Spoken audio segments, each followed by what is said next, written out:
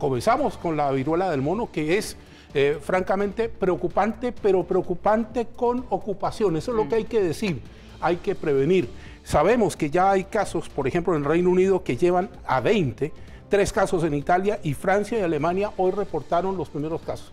El más preocupante es el de Francia, porque en Francia la persona no pasó por África ni consumió ninguno de los alimentos que supuestamente estaban contaminados. Por lo tanto, se ocupa un procedimiento parecido al del COVID-19 en el sentido de hacer la lista de contactos estrechos.